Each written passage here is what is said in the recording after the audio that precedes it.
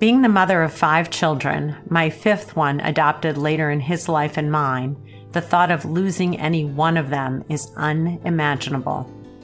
This episode is about the unimaginable a mother, a family who lost a beautiful, funny, feisty, smart, caring, courageous seven year old to cancer. As many of you know, I have had my personal battle with cancer, and currently my younger brother is facing his. Unless you have been through your own, it is hard to imagine the havoc that chemotherapy, radiation, and medications wreak on your body, not to mention your spirit when you are feeling sick, and definitely not looking like anything familiar to your precancer self. As a grown up, there are certain expectations of how I should be weathering my cancer journey. After all, I have lived a life, even if I am not ready to say goodbye. But a child, that is an entirely different story, one in which they are just beginning their life's journey, only to be shortchanged or at best sidetracked for a period of time, where we bear witness to their suffering through various cancer treatments. It just doesn't get much worse. Welcome to Small and Gutsy, our podcast featuring nonprofits and social enterprises under $10 million. My name is Dr. Laura Witkoff, and I'm excited and proud to be your host. We hope you'll love the stories as much as we do, and perhaps you will find needed services, a job, volunteer, invest in, or donate. Small and Gutsy is not just a podcast, but a 501c3 nonprofit.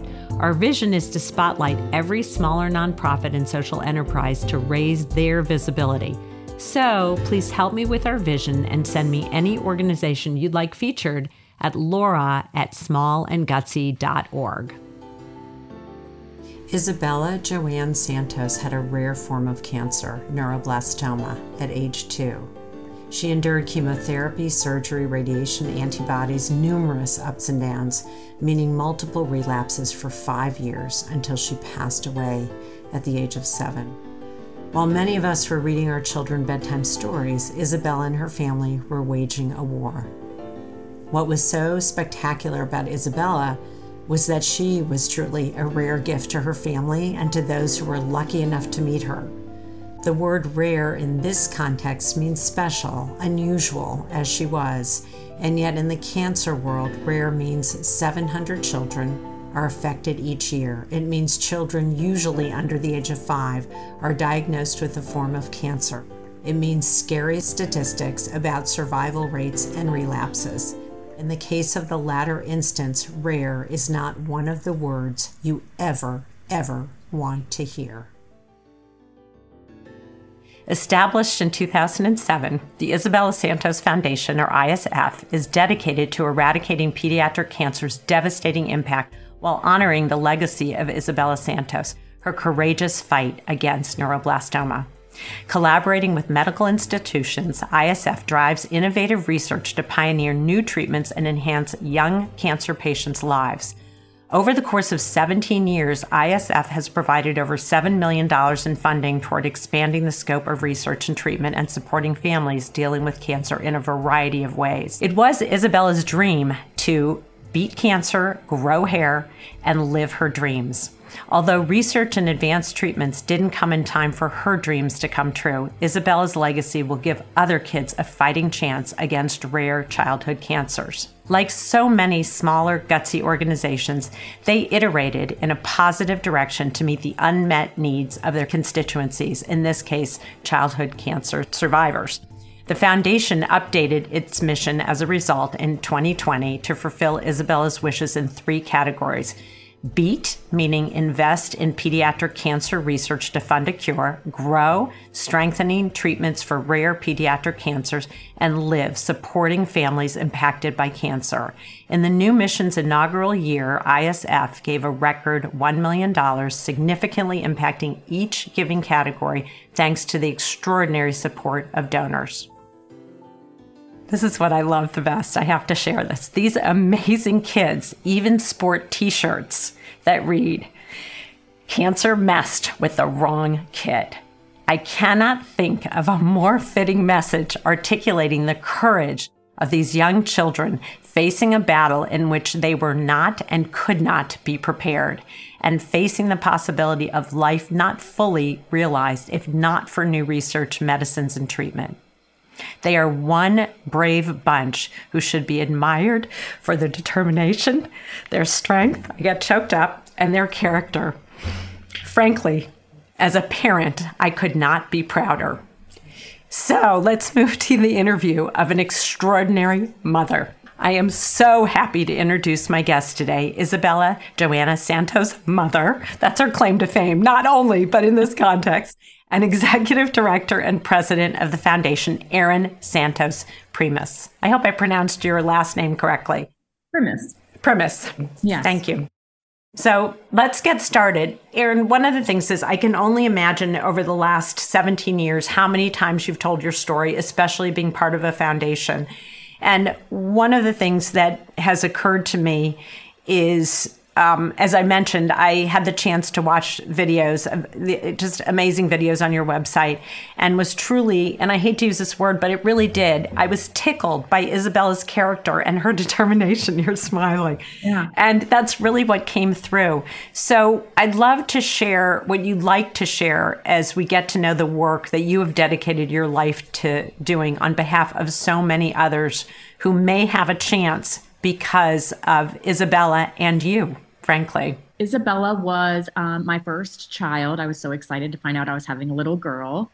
Um, and her life was pretty normal for a long period of time. Well, not very, very long, obviously, but and around the age of two, she started to complain of back pain and stomach pain. And we kept taking her to the doctor and the pediatrician, and they're like, oh, she's constipated. She has a bladder infection. And they kept sending us home.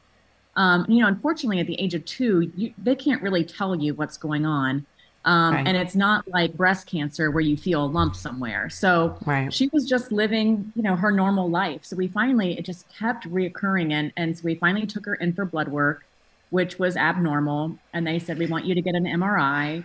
Um, and we got an MRI. And then the next thing we knew, they took us in a tiny room and told us that she had a stage four tumor in her stomach. That she had stage four neuroblastoma. Um, it had already traveled to her bone marrow as well and the survivor rate was 40%. So, um, and zero if they relapse. Hmm. So, we had never heard the word neuroblastoma before. I think everybody thinks of St. Jude's and they think of, you know, these little bald children that have leukemia, but I wasn't even aware. I'm trying to think of how old I was at that time. I guess I had just turned 30. I didn't even know that there were other types of cancer besides leukemia. Mm-hmm. I never heard the word neuroblastoma. And of course, now I'm engulfed in this you know horrible world of all these rare cancers that people really have never heard of. And it's just because of that. It's because they're so rare 700 kids a year. A lot of times you may never know anyone in your life with neuroblastoma. So we started down the treatment path here in charlotte and um, just weren't really excited about what our home institution was offering at the time. We started you have to think back this was back in 2007 so there was no instagram yeah Right. I'm trying to think if there was even Facebook. It was maybe MySpace at the time, but mm-hmm. we were just Googling really on the World Wide Web um, and finding survivor stories for neuroblastoma. And a lot of them were coming out of Sloan Kettering in Manhattan. So uh, we went up there for a second opinion and found out that they were doing things completely different. Uh, they were developing drugs there um, and making them, them them there in the hospital because the issue wow. we have with rare cancers is that there's not enough kids to make these drugs. So all of the drugs that our kids are getting are things that are passed down from adult cancer, stuff they've been using for 70 years, because you mm-hmm. need a mm-hmm. you need a, a, a, supply of children to be able to test these on that we just don't have available to us. Mm-hmm. So Sloan Kettering wow. did things differently, where they were doing things taking certain things out of the treatment plan that they didn't feel like were effective, that were very harmful for, to children, which we were on board with. Um, they were developing a drug there that they were seeing a huge amount of success with called 3F8 at the time. Mm-hmm. Um, the problem was this 3F8 drug that we decided to put her on, they say was like watching your child be set on fire. So it attacks Ugh. to the nerves of the mm. Um, and it only lasts for 45 minutes, but it is a grueling, screaming, awful mm-hmm. 45 minutes. Um, luckily, they give the children enough drugs so to where they don't remember and they walk back in the next day and get it all over again. But just the horror that the parents have to go through to see their you know two or three year old child receive this was just mm-hmm. something that's I'll, I'll never forget. Um, so we transferred her her treatment up to Sloan Kettering. Um, went through the process, and within nine months, she was clean. We released all these beautiful balloons. I had another baby. We thought we were behind this, mm-hmm. and then within three months, she had relapsed, um, and she relapsed in the brain. So we were thrown back into it. We actually moved our family to New York. We got an apartment. My mom moved in with us. We were living in like 800 square feet. It was just, it was insane. And we were going back and forth every day. She was getting treatments directly into her um, CNS system. It was just, it was really incredible to see what we were putting her through. Um, but also, and also what you all were going through. I right. mean, you were, you know, I mean, this was a family and you were just doing everything you possibly could. And the deep, I can't even imagine the feeling of you think you're behind it and then all of a sudden it's back again. I, it's it, those kinds of things are just, you, you just can't think it, you think you're in a dream, in a nightmare, that it's not really real it just kept pulling us back in. She kept beating it, and then it would mm. hit her again. And then she would beat it, and then they would say, This is it. I wouldn't give her any more treatment. But they would see her twirling around in a princess dress, and they're like, We can't tell you to go home to hospice. Like she was just. Yeah. Just an incredible kid to watch that you would never know that she had cancer just draped through her entire body. I mean, they would give her chemos called the kitchen sink, which meant that they almost they give her everything possible, almost kill her, bring her back. She beat it, be back at school, and then six months later, it's back again. I mean, it was just such an unbelievable journey of, um, you know, I journaled through the whole process and seeing the complete ups and downs of it, of like thinking she's going to pass away, and now she's back at school, and this might be your last birthday, and then the next year you have mm-hmm. a birthday mm-hmm. party. Uh, it was the most unbelievable journey I've ever been on. To add to that, um, the the thing about Isabella was that she made so many friends in the cancer space um, between i mean these doctors and nurses were her best friends because that's all she was around um, or these other kids that she knew that were going through things that she would meet in the playrooms um, and she kept wanting to do something to help those kids like it wasn't ever registering to her that she was one of those kids mm-hmm. So she kind of started to get a little bit involved she um, someone helped us organize a 5K here in Charlotte.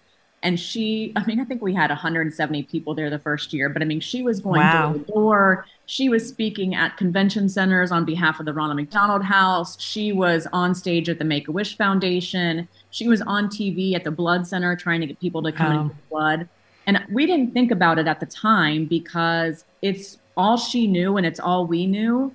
But mm-hmm. looking back now, it's we can't find those kids that want to do that or parents mm-hmm. that want to be in the spotlight with their children being sick either um, but she was out there right um, and it sounds like she drove that process that you you know she drove the train you were getting on it or not she was doing it and yeah. just the videos i mean you can just see her energy and her spirit and her just her solid will i mean she's you know she yeah. was just a little rock star.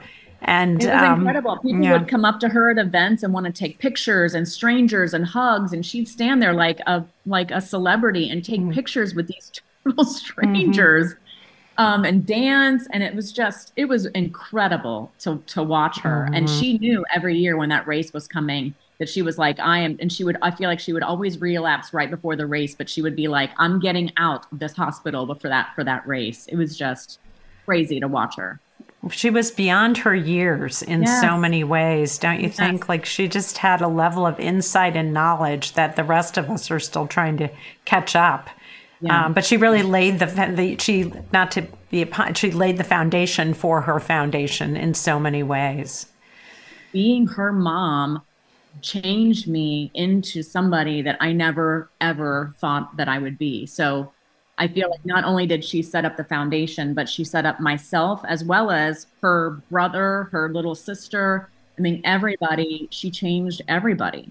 Well, I guess just to wrap up her story, you know, relapsing five times, um, we just kept hearing new things were coming, new things were coming, but they just never come fast enough. She wouldn't qualify because she had had this amount of disease. And it just, mm-hmm. it got to the point at the end mm-hmm. that we just ran out of options. I feel really lucky that we got the five years that we did. And I almost think, too, that that's what it was supposed to be because if she had passed away in one year, I'm not sure where any of this would be today. So I always say I feel like she lived long enough to make sure that this was going to continue.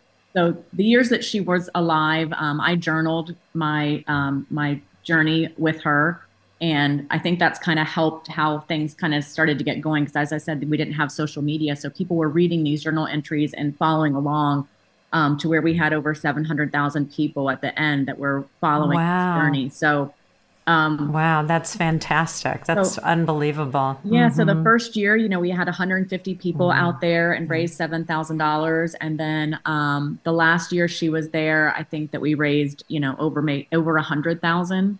You know, all of that money was going to neuroblastoma research. We were sending it to Sloan Kettering where she was being treated because that's what you do. You, you're greasing the wheels to make something happen, but that isn't really the case. And then after she mm-hmm. passed away, um, mm-hmm. I decided to go mm-hmm. back to what I did before, which I was in computers and tried to go back to work and tried to keep the foundation kind of going on the side, but it was growing and growing and growing.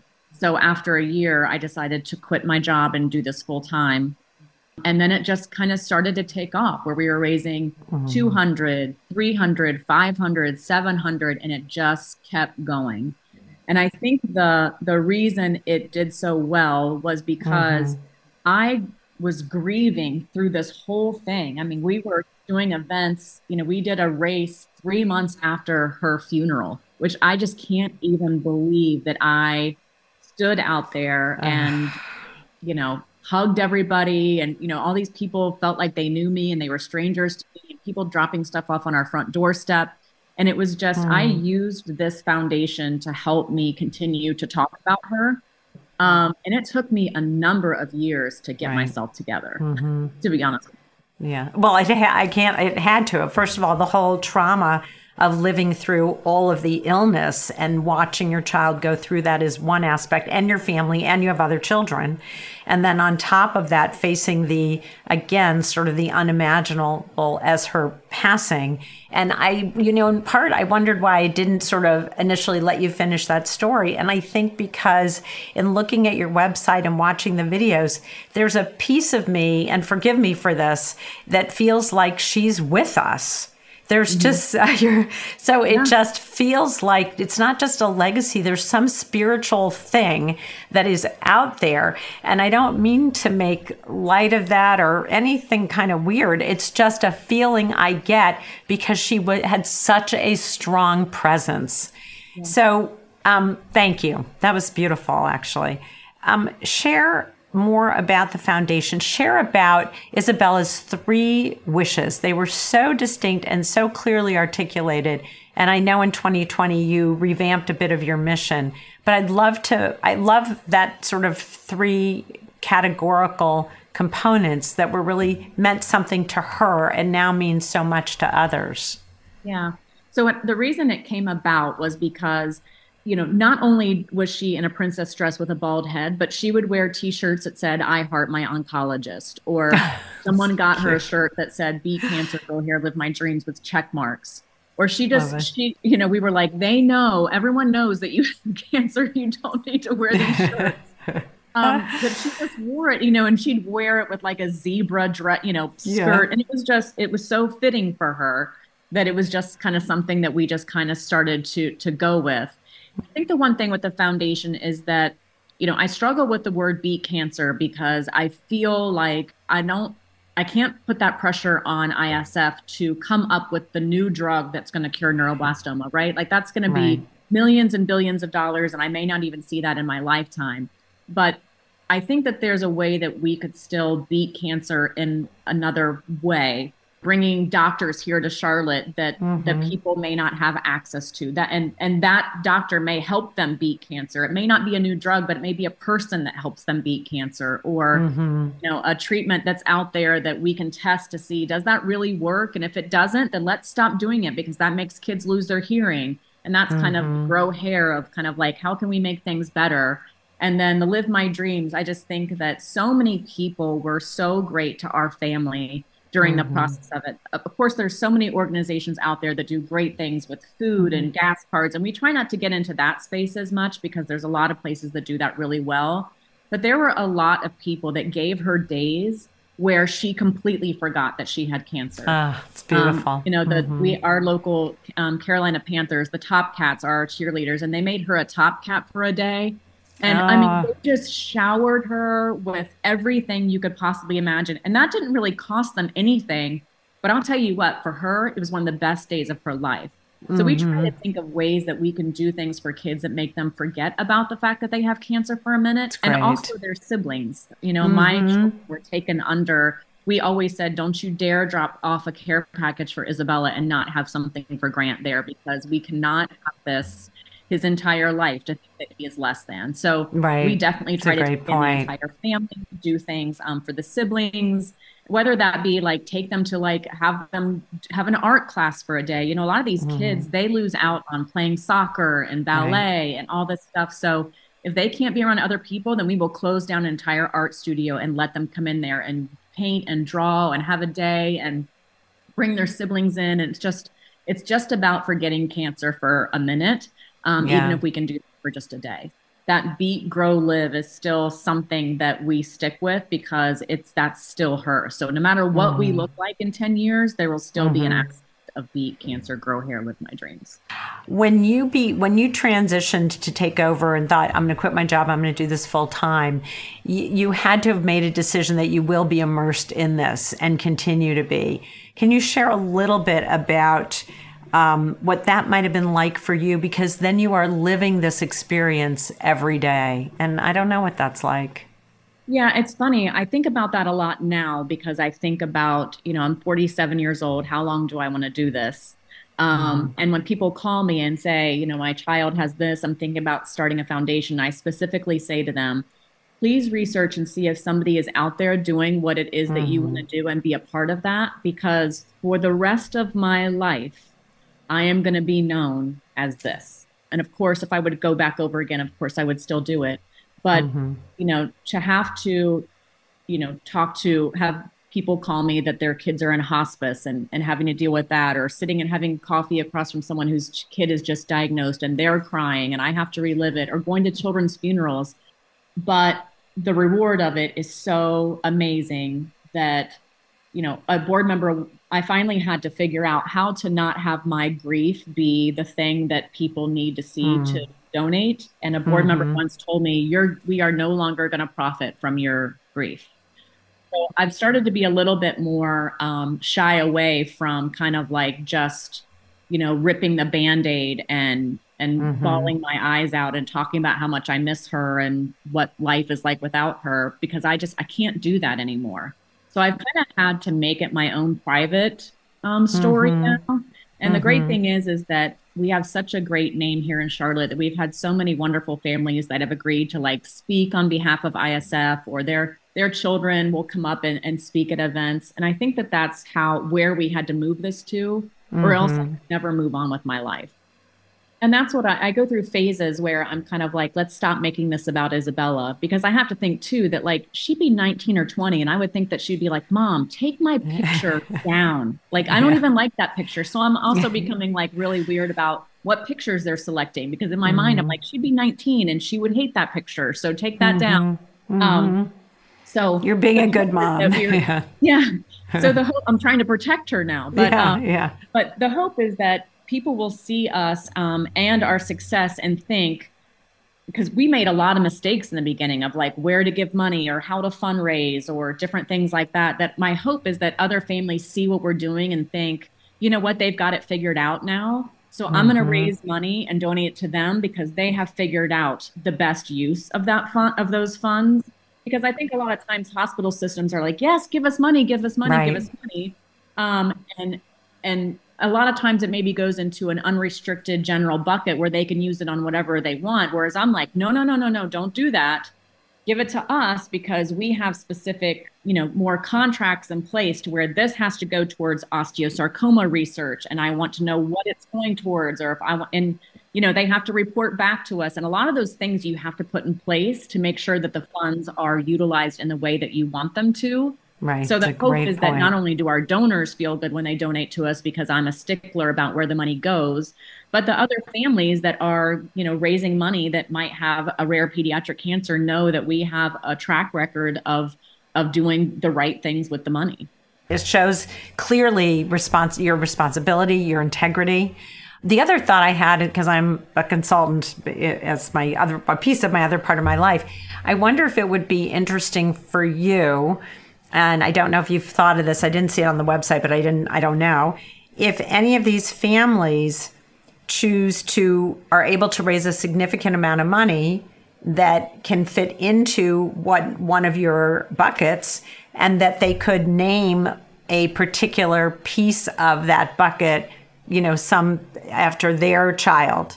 And the reason I'm you do. Yeah. That's great. I'm so happy you do that. Yeah. It's great. Yeah. We've got mm-hmm. a we've got an amazing family um, that had a little girl named Madison who actually passed away at the age of seven as well mm-hmm. from osteosarcoma. And this family, they have an organization called Live Like Madison, and they give us hundreds, you know, hundred, two hundred thousand dollars a year, and we wow. guide it towards osteosarcoma research Love in it. her name and then name whatever it is that we're going to do on behalf of their daughter. So that's great. I, mean, I know how hard it is to raise money and they want that legacy. So please take take the legacy of it.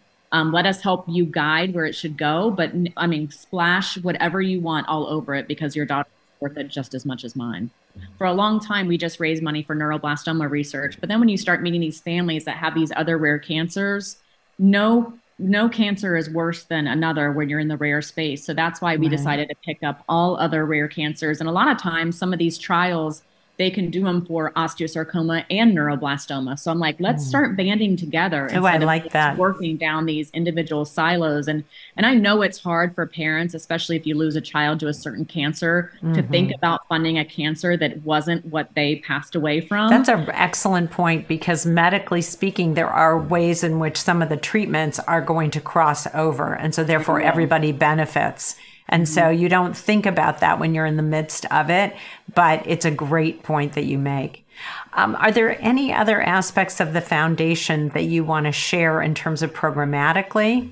Yes, yes, definitely. So I think this year is a big year for us. So, you know, the evolution of ISF of starting from sending money to Sloan Kettering with neuroblastoma and then focusing here in our hometown of Charlotte for neuroblastoma, and then opening it up here in Charlotte for other rare cancers. So now we've built such an amazing institution here in Charlotte for anyone that has rare cancers. We've got kids coming from 24 different countries now to Charlotte to get treatment. Amazing. So now, um, you know, when you go over there, you see kids that are from India, Michigan, um, Germany, all over the place, which is amazing that we've been able to build that.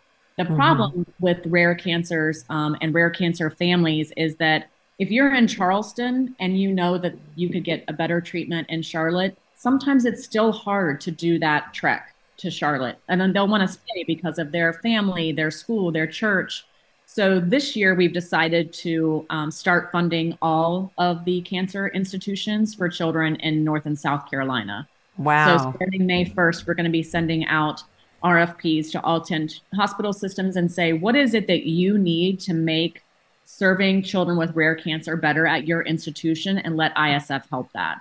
So wow. our donors here in Charlotte are so great that they don't, of course, they want some of the money to stay here and, and help local children, but the donors that support ISF, they don't care if they're helping a kid in Charleston, um, Raleigh, Asheville, Columbia, they don't care so I think for us to we're starting to spread our wings and now saying, okay, let's take on 10 institutions and see if we can take them from, you know, a 3 to a 6 and then a mm-hmm. 6 to a mm-hmm. 7 and really mm-hmm. kind of grow the care in the Carolinas so that everybody has a chance of survival here and doesn't have to wow. leave their home hospital to go get something to to survive and then hopefully you know in three to five years if i'm still doing this of course um, you know to continue to to expand past that. But mm-hmm. for me i don't care where the best neuroblastoma idea is for osteosarcoma. It's in columbus ohio i'm like let's do it. And i think that's what we need to start doing. I feel good that we have our local hospital to be where it is.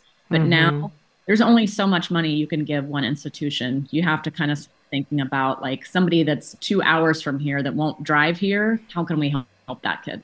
Yeah, we're really excited about it. It's called the Torch Initiative, which stands for Transformational Outcomes for Rare Cancer Heroes. So our hope is to go into these communities and say, how can we transform the outcome for your kids? And then that's what we'll help you do.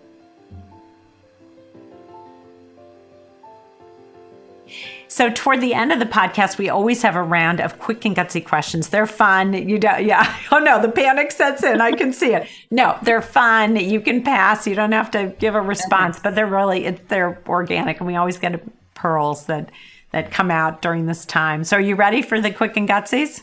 Go for it. Go for it. Okay. What is at the top of your wish list for the Isabella Santos Foundation? However, the answer can't be money or funding you know what? National exposure. Love it. Mm-hmm. Shining the spotlight on what we're doing is so valuable mm-hmm. in, in, every sense. Yeah, yeah, It, it really is. It's a great mm-hmm. answer. Great answer.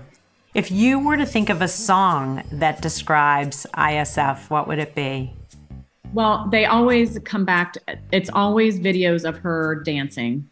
So, you know, she loved Single Ladies and oh. Miley Cyrus and um, what is the one? I mean, when people hear those songs, they always say, I heard this song today. It made me think of Isabella, Isabella. because she, she, was just just a crazy kid when it came to dancing. So people mm. always think of songs and, and say, I heard this and made me think of her. I love that. There's eight songs yeah. probably, but all of it, yeah. Yeah. It's that female empowerment. She, mm-hmm. you know, that was that defines her in a lot it of is. ways, right? I love that in so many ways. It's great. Um, what makes the Isabella Santos Foundation gutsy? Because you're definitely gutsy. I think the realness of it. I think yeah. that um, I always tell everyone at my team think of how you would ask people to give money to cancer and then let's do that differently mm-hmm. let's let's be let's be more real and not as pc as as we mm-hmm. need to be mm-hmm. because this this mm-hmm. isn't a mm-hmm. pc topic yeah. And you know, when you say that, what it reminds me of is your journey was incredibly raw. You didn't know from moment to moment. You were, it hadn't heard of it. You were, had to go with experimentation. You had to go with what was available. So mm-hmm. every turn was what had its raw moments. And I mm-hmm. think that that's been incorporated in who you are as an organization, which is really mm-hmm. amazing. But it certainly makes you gutsy. Um, and it made Isabella was incredibly gutsy. You know, she's a incredible spokesperson. What is something that outsiders or maybe even a few insiders don't know about the Isabella Santos Foundation? I think maybe how, may, and maybe I'll just answer this for myself of how emotional it still is for me, mm-hmm. and like mm-hmm. how, um, you know, like I just finally started going to therapy um, mm-hmm. because I just felt like this how how successful an event is or if we're able to get people to show up to things or how people donate or how people respond it wrecks me yeah. all the time. And i wish that it didn't. I wish that i could treat this as just a business but i take everything so unbelievably personal. And i wish yeah. I, I and i wish people could knew that when they donate something out, you know, that just blows me away. I mean, I come home and I'm just like in tears about it. Or yeah. when people no show to something, I'm in tears about it because it all means so much to me. And I, I hate that sometimes, but I wish people knew that like every single way that they supported or not supported affects, affects me. You know, I I think I wonder if this is a part of what goes on for you because I think it would for me is um, none of that brings her back, and so it's just a constant reminder of of the hole in your heart that's still there. And I don't know that that ever mends, and the only fulfillment is your feelings and the fact that what created this foundation was your rawness and your feelings and your honesty. So I do mm. want you to get help for that because obviously it drives you crazy. Yeah. And at the same yeah. time, and I could totally relate to it, at the same time, that's a beautiful part of who you are. I just mm. I just need to say that. It's mm. it you know, it's the humanness in you that other people connect to. So it's just Yeah, it's the beautiful part of who you are. So I want you to hold on to that and still not fall apart when there's something good or something bad. If you can do both, I'll, I'll really be happy. Um, uh, if you could get one celebrity or influencer to talk about Isabella Santos Foundation, who might that be? Uh, Mackenzie Scott, just because, yeah. not because, well, of course, I would love if she gave us millions of dollars, but I think that, I think what's so amazing about her is that she is change, she is transforming.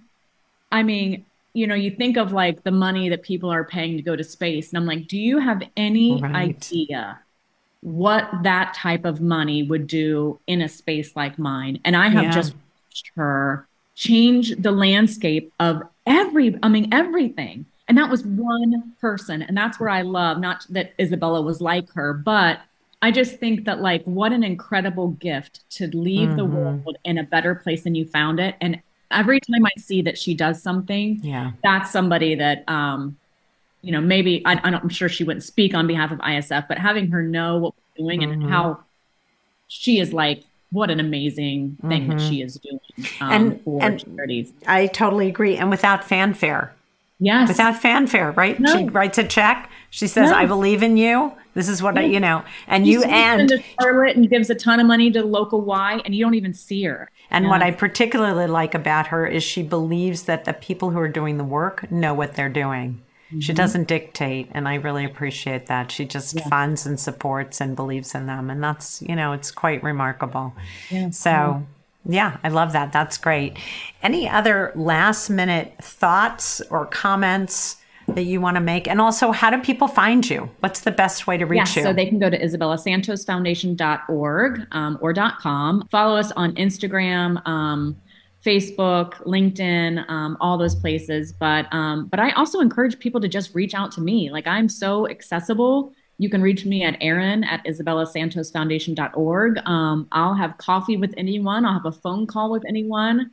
Um, I love having people say, "I heard you on this thing, and I just just wanted to sit and have lunch with you." I'm like, "Let's do it." So I'm open to to meeting anybody that if they feel like that That's this great. what we're doing it speaks to them. Yeah, that's great. I'm going to encourage that on the podcast as well. Like whoever is local or even not, you can Zoom just like we're doing and to reach out and to learn more about um, the foundation and what you're trying to do and all of the impact mm-hmm. that you have made with these families and these kids and in the research arena because you've done all of that. And you've done it initially yes. with a single run, fundraising yes. run. Yes. Early on, Isabella was involved, Yep, every year. And she's still involved in her own way. So, and so is your whole family, it sounds like, which is really remarkable. Yeah, and really beautiful. I, I just want to take a moment and thank you. I was, uh, it was hard for me to get through my opening, but I watched a lot of the videos and read the materials and I was so deeply moved by what came through is really Isabella's charm and wittiness and character and determination, all the things that I said in the beginning. And I put myself in your shoes as much as I could. And I thought, I, this is unimaginable to me. All of the stuff that you went through uh, in order to yeah. really try to figure out how can you help your child. And all of us would do that. And so I just want to thank you for sharing, for being raw. And I love that because I am too. And we're human. And so my wish is that everyone who mm-hmm. listens to this reaches out to you and uh, that you, I hope you realize um, how proud every mother should be mm-hmm.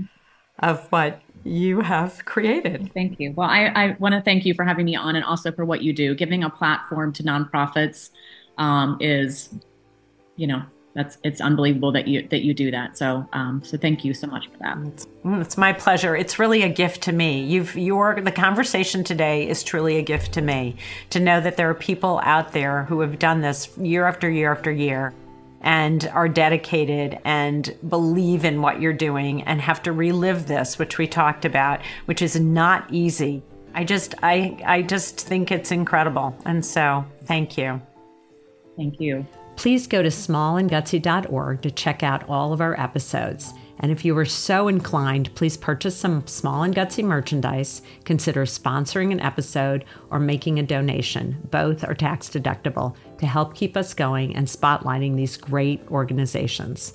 The opinions and viewpoints expressed by our guests are independent and do not reflect the position or views of Small and Gutsy. Of course, we can't take responsibility outside of our own vetting of the organizations we interview, so before you sign on to support or work for them, we encourage you to do your own due diligence and research them as well. I want to thank my partners in this endeavor, the Intrinsic Group, my incredible board of directors, Tracy Brown, John Gatto, Lucy Mello, Serena Rajabian, and Melissa Greitz, who believed in me in this project enough so to sign on to support this effort, and all the folks, friends, and family who have guided and inspired me. And thank you for listening. Together, we are spreading social impact, and you can help us. If you like this podcast, please share it with your friends. From small and gutsy to big with impact, I'm Laura Witkoff, and thanks for listening.